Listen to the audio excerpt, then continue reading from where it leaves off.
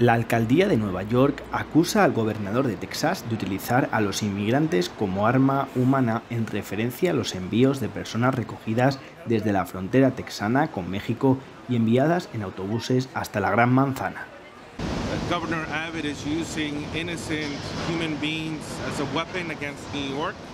Este miércoles llegaron a la estación central de Manhattan cuatro nuevos autobuses con varias decenas de inmigrantes entre ellos, había numerosas familias con niños pequeños y hasta con bebés. Hasta el momento, 6.000 han sido acogidos en los refugios de Nueva York en las últimas dos semanas, según fuentes de la alcaldía. El gobernador de Texas, por su parte, admite que quiere repartir la carga migratoria que soporta Texas y ha declarado que Nueva York y Washington son las ciudades que tienen que asumir parte de este problema.